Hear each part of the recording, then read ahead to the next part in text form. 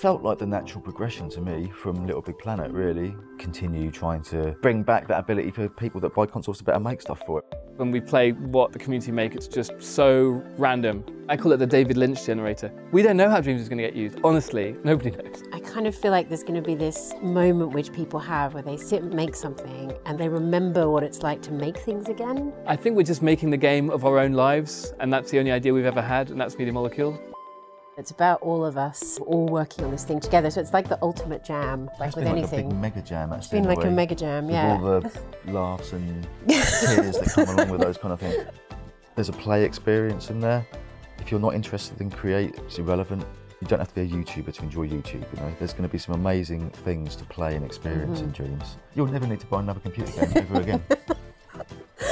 We're going to destroy the games industry. Oh God, no!